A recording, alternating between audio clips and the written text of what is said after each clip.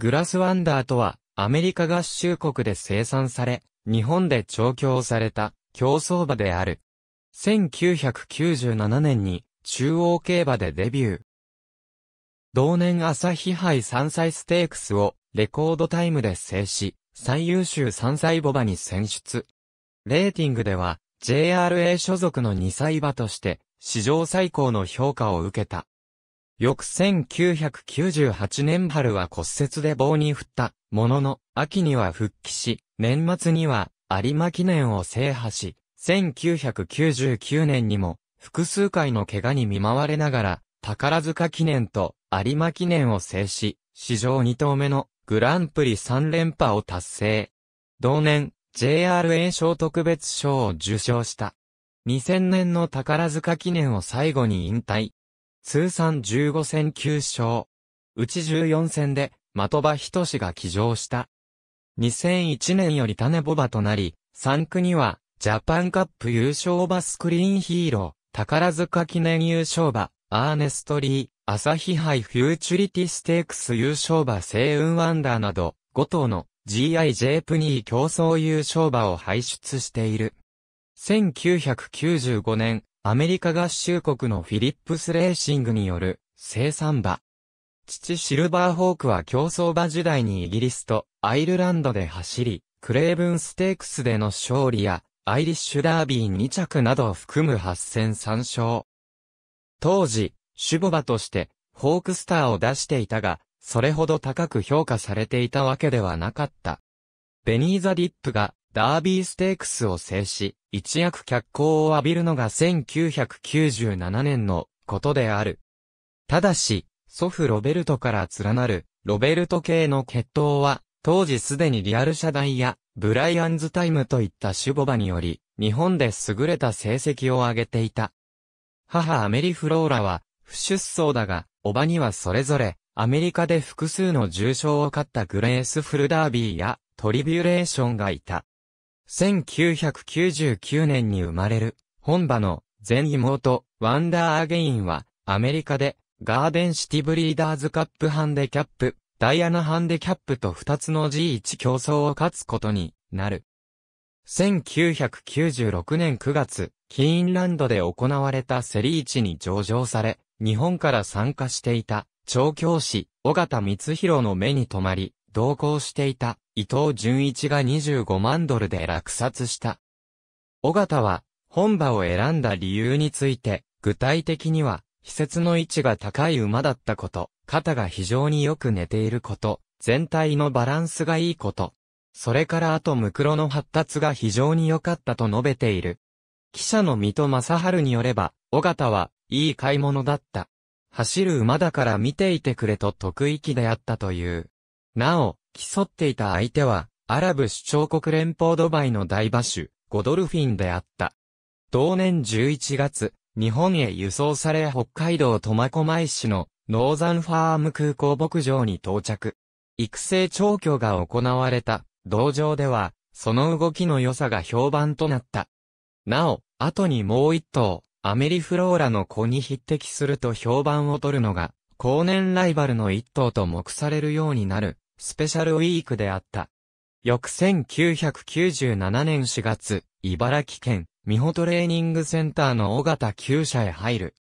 9月にデビューを控え、尾形から外国サンバで、ちょっと面白い馬がいるんだが、乗るか？と声をかけられた、的場仁志が初騎乗。的場は、グラスワンダーを、一目見て、バランスのいい馬だな。2歳にしては、随分筋肉も発達しているぞと感じ、またがったところでは身に乗りやすい馬だと感じたが、この時点ではまだ強い印象は抱いていなかった。しかし、キャンターに入ってからの乗り味の良さ、さらにしまいに軽くスパートを促してからの反応の良さに的場は大いに驚き、この馬は、物が違う、とはっきりと認識した。間違いなく、将来は超一流馬になるだろう。今までにも色々な二歳馬に乗ってきたが、これはその中でも紛れもなく、トップクラスと言える一頭だと強い印象を残した。またある日の調教では乗り役を落とした馬が突っ込んできたことがあったが、これに対して、グラスワンダーは全く動じず、これを見た尾形は、かなり賢くて走る馬か、相当なバカ馬かどっちかだと笑ったという。馬名の由来競走馬名のグラスワンダーは、冠名のグラスに伊東がセリ市で見た時にワンダフルな印象を受けたことからワンダーを加えたものである。なお、馬主の半沢深也は、かつてグリーングラスを所有した半沢騎士郎の双子の弟であり、グラスという冠名は同馬の名に由来する。2歳9月13日、中山競馬場の新馬戦でデビュー。スタートが得意ではないことから、余裕を持ってレースを運べる1800メートル戦が選ばれた。単勝1.5倍の一番人気に押されたグラスワンダーは、スタートでやや立ち遅れたものの、すぐに先段に取り付き2番手を追走。的場が無知を使うことなく直線で抜け出し、2着に3馬審査を、付け初勝利を挙げた。続く、IB ステークスでは、新馬戦同様無知を使うことはなかったが、レコードタイムに0秒2差の1分21秒9、上がり3ハロンで全馬に1秒以上の差をつける34秒0を掲示し、2着に5馬審査をつけて連勝。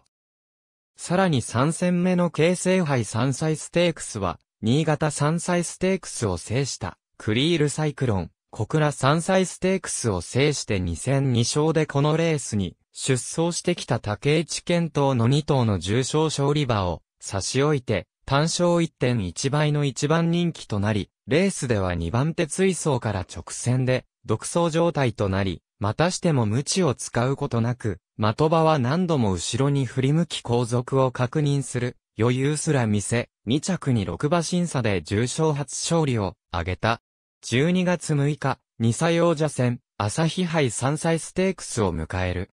出走メンバーには、岡田茂之が怪物と評価したマイネルラブ、京都3歳ステークスを制して2戦2勝でこのレースに出走してきたフィガロ、函館3歳ステークスを制したアグネスワールドが名を連ねたが、当日は単勝オッズ1.3倍に支持された。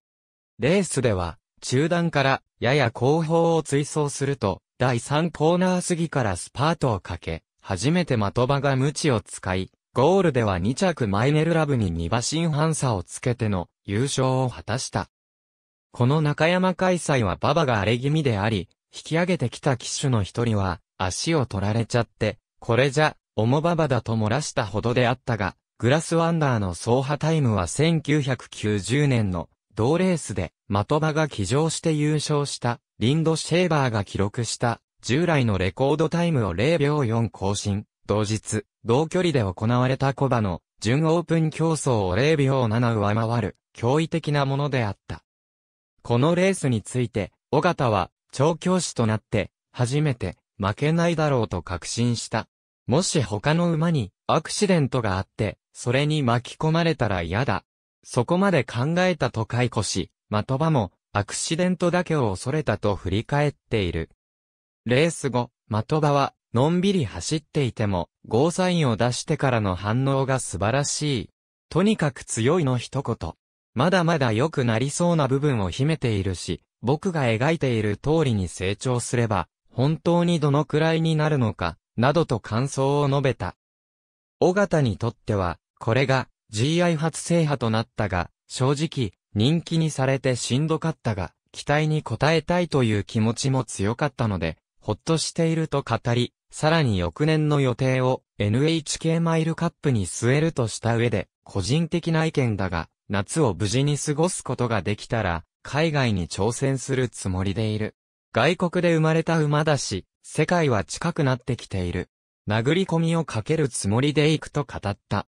当年はこれで出走を終え、翌1998年1月に発表された年度表彰。JRA 賞では、最優秀3歳ボバに選出された。また、2歳馬ながら、年度代表馬投票において、得票数10票を獲得した。2歳馬が、年度代表馬に投票されるというのは極めて、異例である。当然ながら、グラスワンダー以降、年度代表馬に投票された2歳馬は存在しない。家庭の斤量数値で各馬の序列化を図る JPN、クラシフィケーションの作成にあたっては、先行を務めるハンデキャッパーから次元が違う超大物と惨事が相次ぎ、数値の決定に際しては、かつて2歳馬として最高評価を与えられたマルゼンスキーとの直接比較が行われた。マルゼンスキーの当時の数値は 57kg であったが、統制的に115ポンドとされた上で、グラスワンダーはマルゼンスキーよりも相手の層が厚いと考えられること、またマルゼンスキーには一度だけ、花さの新章があったことが考慮され、グラスワンダーには1ポンド上積みされた116ポンドが与えられ、事実上、JRA 史上最強の2歳馬という評価となった。なお、マルゼンスキーは、当年死亡しており、この内容を伝えた、競馬界の広報誌、優春は、これも何かの巡り合わせであろうと評した。3歳骨折から復帰後の不死ミエルコンドルパサー。グラスワンダーと同じく、アメリカサンバであった一時休養後、1月末より、調教を再開したが、間もなく、歩み様に、乱れが生じたことから検査が行われた。この時は、原因が判明せず、そのまま NHK マイルカップの前哨戦、ニュージーランドトロフィー4歳ステークスを目標に、調整されていた。しかし3月15日、右後ろ足の第3中手骨を骨折していることが判明。症状としてはごく小さな亀裂であったものの、春の出走は絶望的となったため22日には、ノーザンファーム空港牧場へ放牧に出された。なお、ニュージーランドトロフィーは、当年1月よりデビューし、的場が主戦騎手を務めていたエルコンドルパサーが勝利、同馬は NHK マイルカップも優勝した。的場は同馬について、グラスワンダーと、甲をつつけがたいほど、素晴らしい馬と公言していた。8月22日に美穂トレーニングセンターへ帰球。復帰戦は10月11日の毎日王冠と決まった。ここにはエルコンドルパサーも出走を予定しており、的場は二者択一を迫られる。当時のグラスワンダーは、夏負けの症状を停止、また骨折した右後ろ足をかばって走ることで、左前足に骨膜炎も出ており、尾形はエルコンドルパサーに乗ったらどうかと促していた。的場もこの時点での両馬の調整度の差は認識していたものの、先々を考えると結論が出せず、家族から絶対的な能力はどちらが上なのかと尋ねられた際には、どっちとも言えないくらい、どっちも走る。どっちってわかれば、答えは簡単なんだ。どちらがすごいかわからないから辛いんだと答えていたという。そして最終的に、的場は、グラスワンダーへの騎乗を選択。エルコンドルパサーには、海老名正義が騎乗することになった。なお、的場がエルコンドルパサーを選んだ場合に備え、尾形が公認として打診していたのは、海老名であった。毎日王冠では、春のグランプリ、宝塚記念を含め5連勝中のサイレンス鈴鹿が単勝オッズ1.4倍の一番人気となった。グラスワンダーは的場が選んだという事実、また獲得賞金の関係でサイレンス鈴鹿からは 4kg、エルコンドルパサーからは 2kg、軽い 55kg という負担重量も影響してか、続く2番人気に押される。ついでエルコンドルパサーが3番人気であった。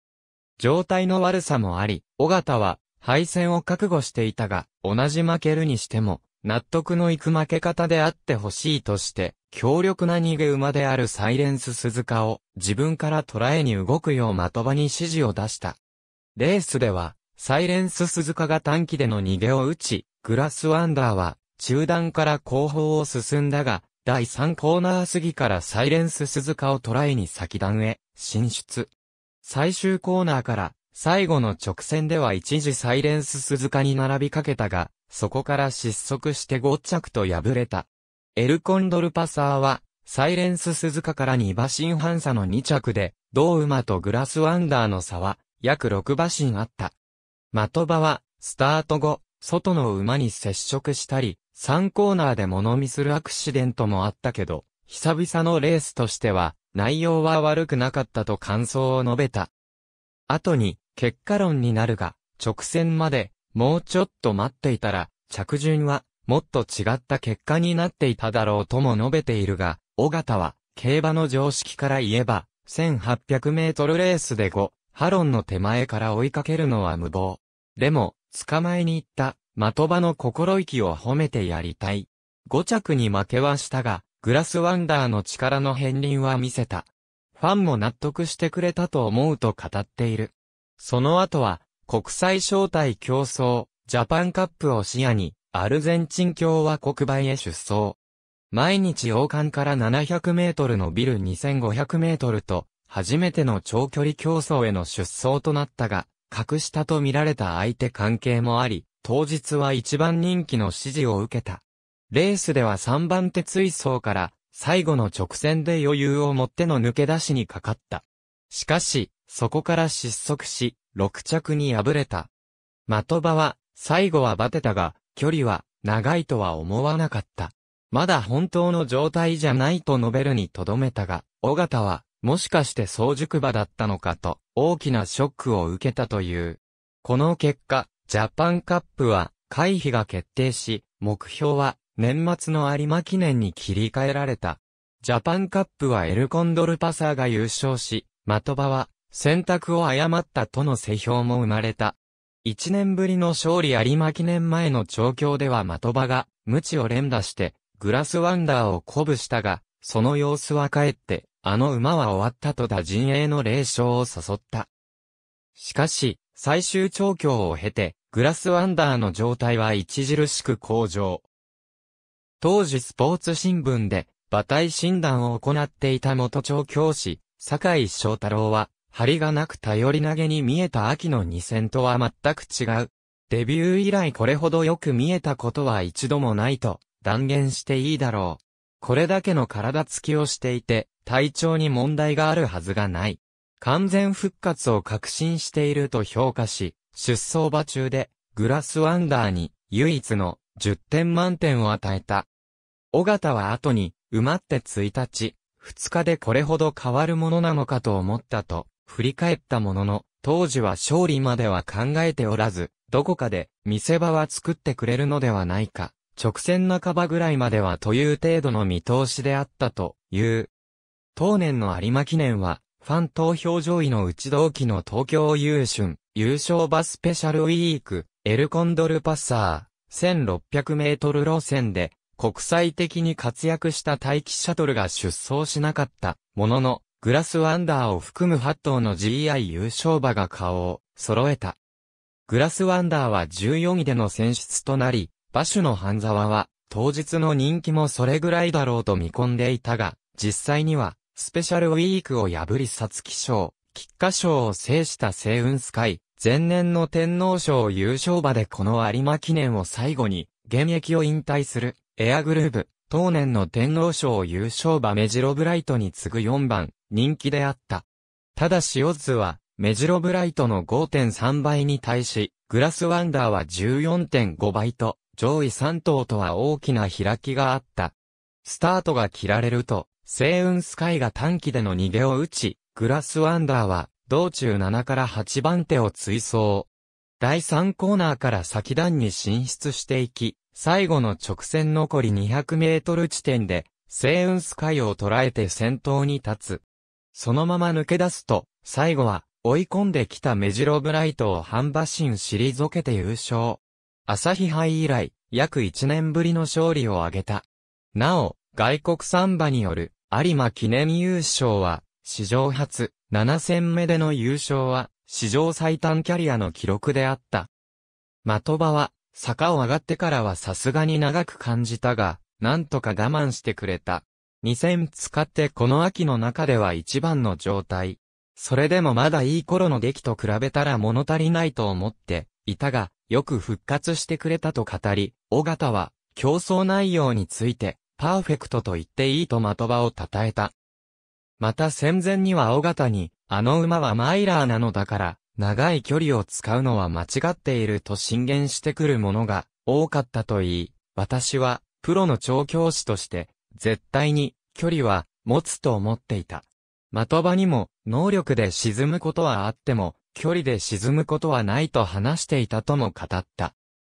半沢は、正直言って、まさかこの有馬記念で復活するとは夢にも思わなかった。的場騎手がこの馬を選んでくれたし、もう一頭のエルコンドルパサーがジャパンカップを勝った時は、申し訳ない気持ちで重圧になった。4連勝で朝日坂月を制した時がこの馬の人生のパート1であるならば、有馬記念を勝った。これからが、パートに頑張って、これから切り開いていってほしいなどと語った。当年のレーティングにおいては、3歳馬では、エルコンドルパサー、スペシャルウィークに次ぐ3位の評価となる120ポンドを付された。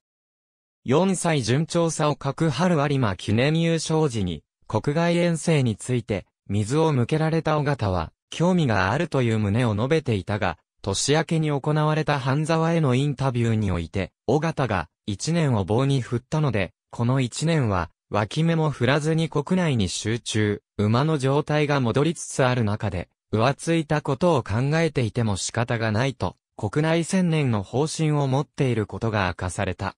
当初は3月の中山記念から指導する予定となっていたが、右肩に筋肉痛を生じて回避。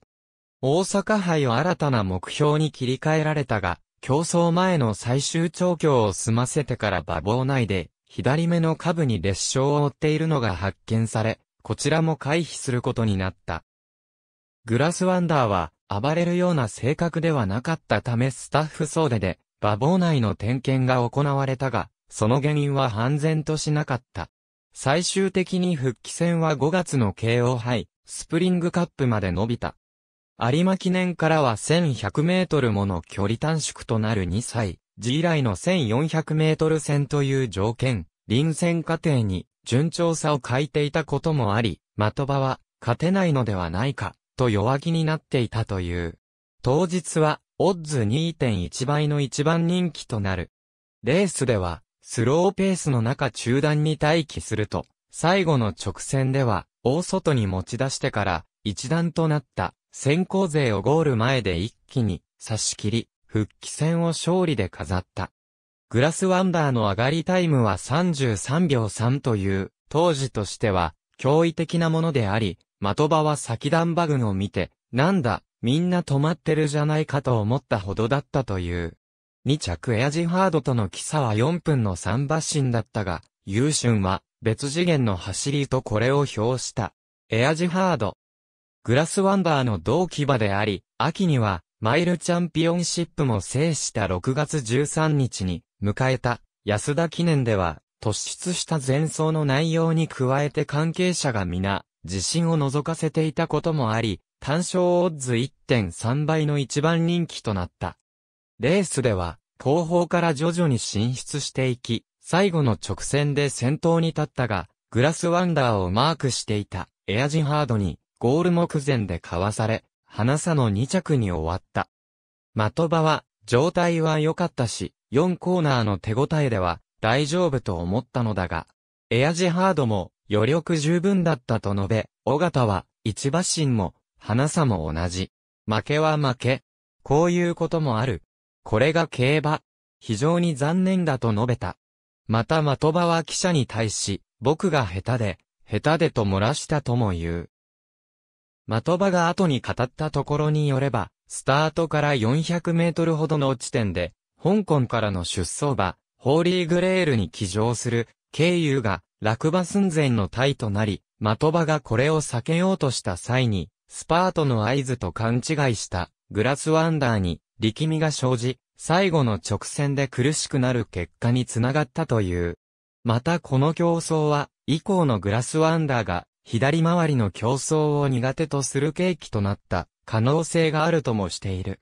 当年は6月としては異常な暑さが続いており、グラスワンダーは夏負けの兆候を示していた。敗因の一つに、この影響があると見た尾形は、自走に考えていた春のグランプリ、宝塚記念へのデイナについて慎重な姿勢を示していたが、後に症状が収まったことから、競争2週間前になって出走が正式に決まった。スペシャルウィークとの初対戦スペシャルウィーク、宝塚記念のファン投票では、5月に天皇賞を制したスペシャルウィークに次ぐ第2位で選出。4月から長期ヨーロッパ遠征に赴いたエルコンドールパサーや天皇賞2着のメジロブライト、同3着の星雲スカイといったメンバーを書いたものの、グラスワンダーとスペシャルウィークの初対戦は大きな注目を集め、スポーツ紙は2強対決、GS 対決などと書き立てた。当日の人気は、スペシャルウィーク1.5倍、グラスワンダー2.8倍の順となり、3番人気、オースミブライトは15.9倍と大きく離れていた。スタートが切られると、スペシャルウィークが4から5番手、グラスワンダーはそれを見る形で進んだ。第3コーナーから最終コーナーにかけて、スペシャルウィークは先に進出を開始し、一時、グラスワンダーは引き離されたが、最後の直線に入って、残り200メートル付近でこれを捉える。それまで後ろから刺された、経験のなかった、スペシャルウィークに対して、最後は3馬審査をつけ優勝。3着ステーゴールドは、さらに7馬身後方であった。的場は、今日は、束の動きは気にせずに、自分のペースを守ろうと思っていたが、少し前にスペシャルウィークがいたのでレースを組み立てやすかった。ただ、4コーナーでスペシャルウィークに手応えよく離されてしまった時はどうかなと思ったが、直線を向くと伸びあぐねていたから勝てると思った。あそこからは手応え通りの内容、強い勝ち方だったと思うなどと感想を述べた。三馬身という差をつけられたスペシャルウィーク調教師の白井俊明からは、マークされたのは確かでも、反対に相手にマークして進んだとしても、今日は勝てなかっただろう。こんなボコボコした馬場は合わないが、あの馬の瞬発力が上だった、安城の竹豊は、並ばれた時にもう手応えが違った。乾杯だという言葉が聞かれた。なお、スペシャルウィークは、宝塚記念の内容次第で、エルコンドルパサーも目標としていたフランス、外専門省への遠征を計画していたが、この敗戦を受けて立ち消えとなった。新章の毎日王冠、ジャパンカップ会飛夏の休養を経て、秋は全員年5着と敗れた10月の毎日王冠から復帰。当日は単勝1.2倍の一番人気に支持された。レースでは5番手追走から最後の直線で先頭に立ったが、そこから突き抜けることができず、出走馬中で唯一の重賞未勝利馬、名称王道に詰め寄られた。最後は、両馬が馬体を並べて、入線、写真判定の末に離さ、数字にして3センチメートルという僅差で、グラスワンダーが勝利した。的場は、もう少し良い勝ち方ができると思っていただけに、自分のイメージとは随分違ったが、それでもよくしのいでくれたとねぎらったが、尾形は、勝つには、勝って嬉しいが、なんとも、消化不良のレースだったなどと述べた。グラスワンダーは自走にジャパンカップを予定していたが、それまでの敗戦が、すべて同競争を施行する、左回りコースの東京競馬場で騎士しており、この競争も東京競馬場で隠した相手の新章だったことで、左回りが苦手なのではないかとの疑念が持たれることになった。その後も、ジャパンカップに向けての調整が続けられたが、この最中、左脇腹に筋肉痛を生じ、同競争の回避を余儀なくされた。的場と尾形が相談の上で、左回りコースでの調教が試みられていた矢先の出来事であった。なお、ジャパンカップは、スペシャルウィークが優勝。また同日の昼休みには、ヨーロッパ遠征を4戦2勝、外専門賞を含む2着2回の成績で終えた、エルコンドルパサーが引退式を行った。同馬については、グラスワンダーとの再戦を望む声も多かったが、これにより前年の雪辱を果たす機会は失われた。針治療により筋肉痛は収まったものの、目標を切り替えた年末の有馬記念に向けて、グラスワンダーの調子は上がらず、的場が違う馬に乗っているのではと感じるほどその動きは悪かった。最終調教を経て、尾形は夏負けから立ち直れず暗中模索だった一年前を思えば随分良いと語ったが、的場は先週に比べれば良くなったが、この馬の本当の力を思えば、まだまだと渋い表情であった。グランプリ3連覇有馬記念のファン投票では、宝塚記念に続き、スペシャルウィークに次ぐ2位となった。当日は7頭の GI 優勝馬が顔を揃えたが、人気は最終的にグラスワンダー2.8倍、スペシャルウィーク3.0倍と両馬が上位で拮抗した。返し馬では、動きに硬さが残るグラスワンダーに、的場が入念に早足を踏ませ、体をほぐそうとする様子が見られた。スタートが切られると、追い込み馬と見られたゴーイング鈴鹿が先頭を切るという展開となり、グラスワンダーは11番手、スペシャルウィークは最後型の14番手を進んだ。最初の1000メートル通過が65秒にという超スローペースで推移する中、グラスワンダーは第3コーナーから進出を開始、それに次いでスペシャルウィークも追走を始める。的場は当初、スペシャルウィークがやってくるのを限界まで待つという作戦を思い描いていたが、前を行く鶴丸剛の手応えが良かったことから、これを捉えるため予定よりも早くスパートをかけた。最後の直線半ばを過ぎ、グラスワンダーとスペシャルウィークは競り合う形になりながら、前を行く TM オペラ王と鶴丸剛をかわし、そのまま馬体を並べて入線。的場をはじめ、小型らグラスワンダーの関係者は、負けたと見ており、その一方で、スペシャルウィーク騎乗の竹豊は勝ったと見て、ウィニングランを行い、正面スタンド前に戻ってきてからは2、サンドガッツポーズを繰り返した。しかしスペシャルウィークが、検量室前の枠場に戻ってきた瞬間、着順掲示板の一着欄にグラスワンダーの7が表示され、花差でグラスワンダーの勝利が確定した。この時の2頭の差は、わずか4センチメートルとされた。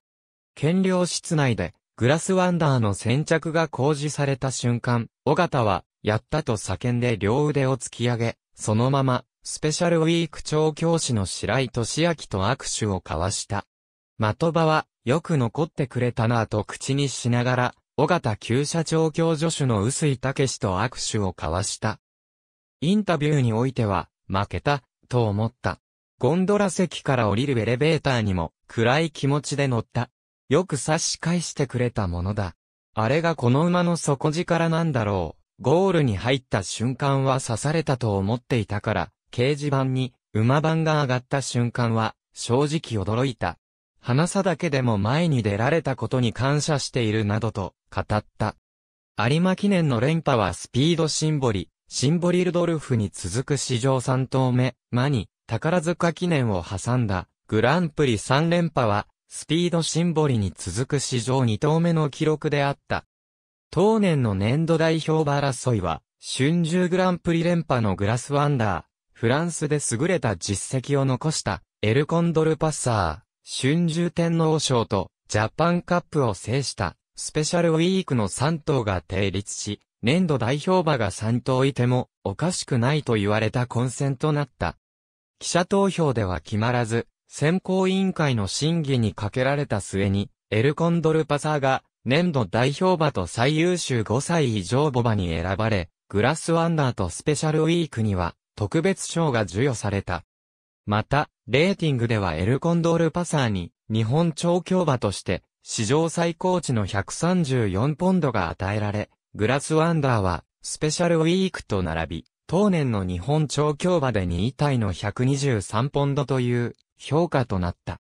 5歳再びの低迷期5歳となった2000年は、当年により、外国産馬に門戸が開かれた天皇賞制覇と、秋の外専門賞出走を目指して、現役を続行することになった。尾形は、有馬記念で引退しても良いと考えていたが、種ボバ入りを見越したとき、前年限りで引退したエルコンドルパッサー、スペシャルウィークとの繁殖牝馬の奪い合いを避けたいという思惑もあった。有馬記念後のグラスワンダーは極めて状態が悪く、尾形が骨折を疑ったほどの歩み様の乱れが2月の中ほどまで収まらなかった。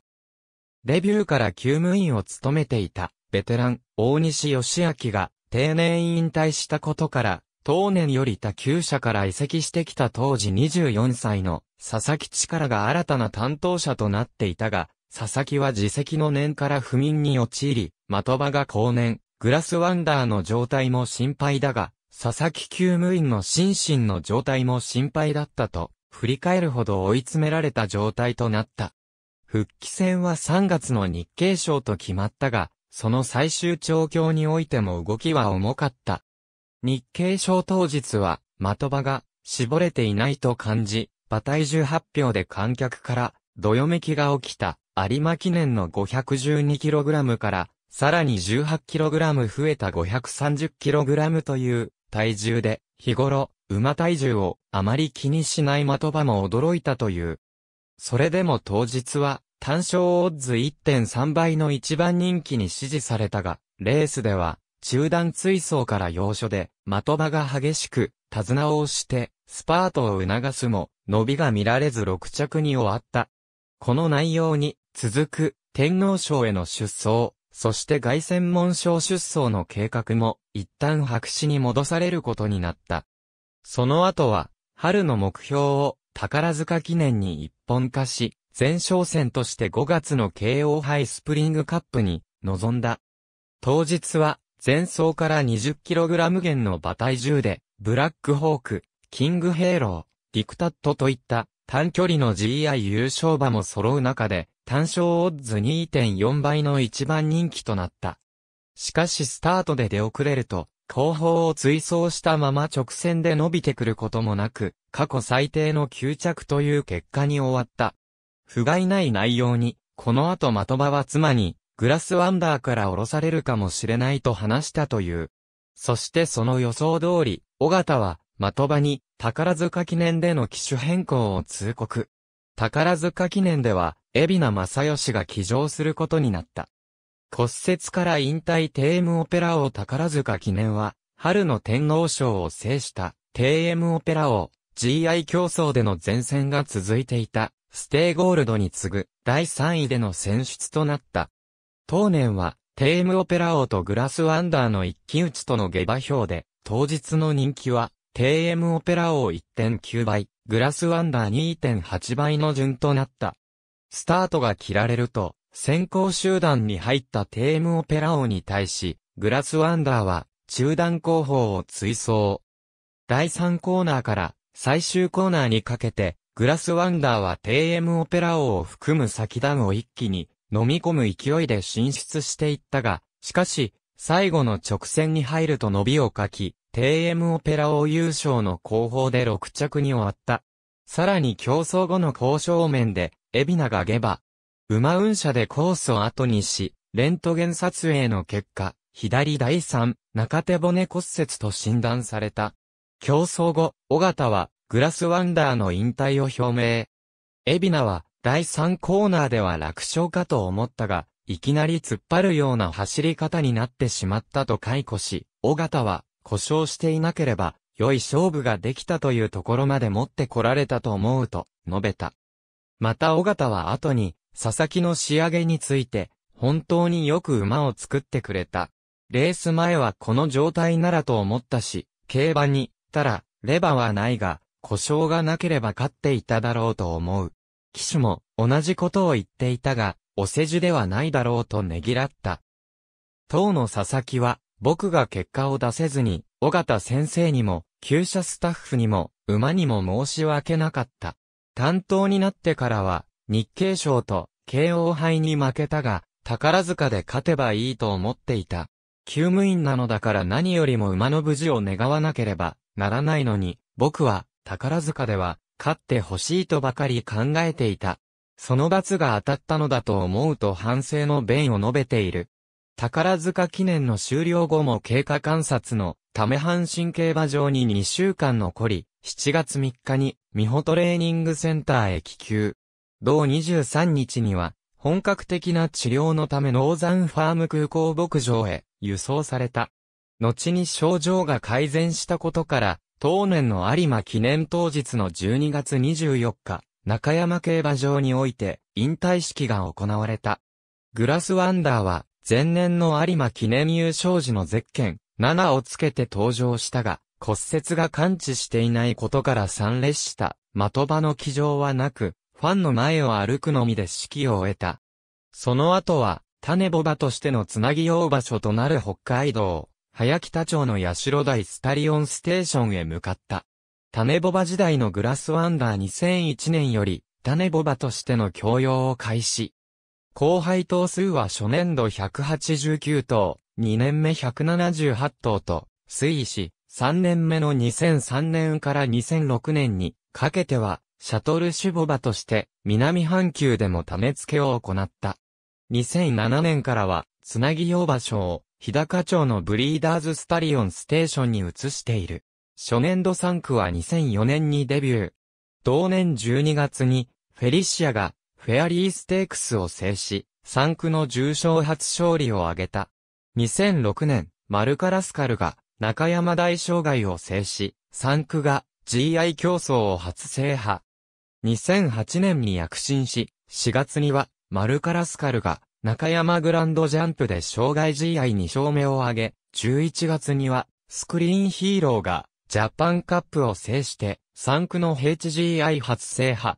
12月には、セ運ワンダーが朝日杯フューチュリティステークスで、グラスワンダーとの親子制覇を達成した。同競争における親子制覇は、かつて、グラスワンダーが比較されたマルゼンスキーと2頭の子に、続く、史上3例目であった。同年、グラスワンダーは、JRA シュボバランキングで10位となり、初のベスト10入りを果たす。また、2011年には、アーネストリーが、宝塚記念を制し、同競争において、史上2例目の親子制覇を達成した。ブルードメアサヤーとしても名称マンボが GI 競争を制している。また、後継として種ボバとなったスクリーンヒーローが安田記念、香港カップなど国内外の GI 競争を6勝して2015年度の年度代表馬に選出されたモーリス、2015年の有馬記念を制したゴールドアクターを輩出し、モーリスは2017年からゴールドアクターは2019年から種ボバとしての供用が開始したため、2019年現在、グラスワンダーのサイヤーラインは3代目まで繋がっている。2014年7月12日には、函館競馬場で行われたイベントにスペシャルウィークと共に参加し、最終レース終了後に、パドックでその姿が披露された。スペシャルウィークが、栗毛の馬を見ると興奮することから、2頭は、離れて、パドックを周回したが、互いに稲泣き合って、存在を確認する姿も見られた。2016年10月29日、ブリーダーズスタリオンステーションから、ビッグレッドファームに移動した。2020年4月2日、ビッグレッドファームより種牡馬を引退することが発表された。種牡馬引退後は、明和牧場へ移動して、余生を過ごす。2021年10月3日、モーリス産駒であり、グラスワンダーの彦にあたるピクシーナイトが、スプリンターズステークスを優勝し、不死4代での GI 競争制覇を達成。これは1984年にグレード制が導入されて、以後、直径ボバでの達成は JRA においては史上初であった。以下の内容は netkeiba.com の情報に基づく。タイム欄の R は、レコード価値を示す。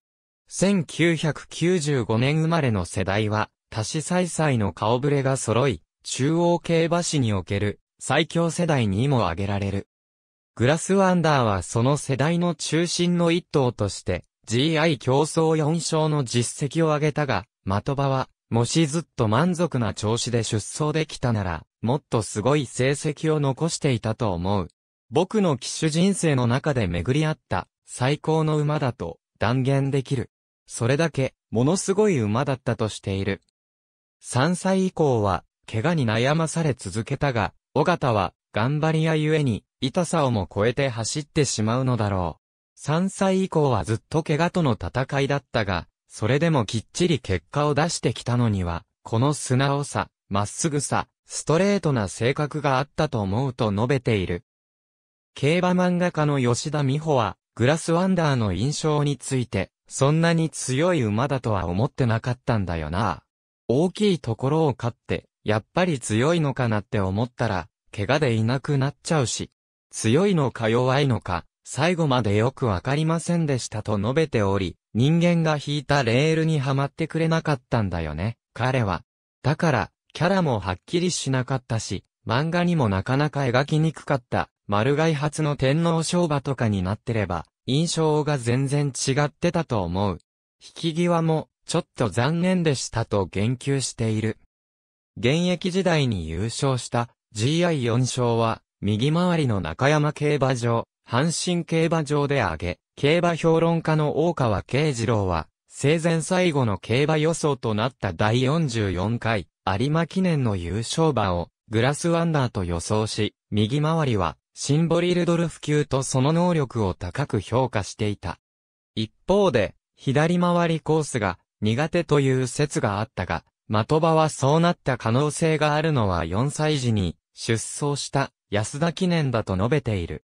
的場によれば、道中を力んで走り、直線で苦しくなった同競争において、グラスワンダーは的場が合図をしないにもかかわらず3度も手前を変えており、このことで左手前で走った方が楽、左手前で直線を走れる、右回りの方が得意だという意識が馬に芽生えてしまった可能性があるという。グラスワンダーは非常に落ち着いた性格の持ち主であったが、日常的にもおとなしい馬であり、競争前にも闘志を表に出さない馬であったが、防用として移る時の方が気合が乗っているのだともされた。また常に食欲旺盛であり、厩務員の大西、佐々木ともに体重管理には苦心した。後年、種馬場の職員からも、性格は落ち着いているというより落ち着きすぎで、また、食べたものが、すべて身になっているのではと思えるほど、馬体の充実ぶりも目立つと評されている。グラスワンダーに寄せられたファンレターには、体に障害を抱える人物や、余命の宣告を受けた人物からの、グラスワンダーが頑張っているうちは頑張るという内容のものが何通りもあったという。出展、ヤビスサーチ、グラスワンダー種ボバ情報 GIJ プニー、競争優勝バフトジは、GI 級競争中央、ダートグレード競争優勝馬地方、重賞優勝馬 GIJ プニー競争優勝馬、中央、ダートグレード競争優勝馬地方重賞優勝馬1990年代に日本へ輸入された外国産馬は総じて早熟、短距離得意という傾向を持っていた。そうした中で、父、シルバーホークは万能型という表もあったものの、全体としては、万世型で、中、長距離を得意とする子を出す、守護馬として知られた。そのため、グラスワンダーの早熟性とスピード能力は、そうした特徴で知られた母の父、ダンジグの影響を受けたものだという見解がある。四代母、ソアリングの系統はアメリカで発展し、デビルズバッグ、セイントバラード、グローリアスソング、ラーイ、シングスピールなどの国際的な名競走馬、繁殖馬が数多く輩出されている。パイファイギャルから分かれ、グラスワンダーに至る系統は、そのうちでは、比較的傍流にあたる。パイファイギャルの子孫の重賞勝利馬を記述する。括弧内は、当該馬が勝った、重症競争、太字は、GI 競争。ありがとうございます。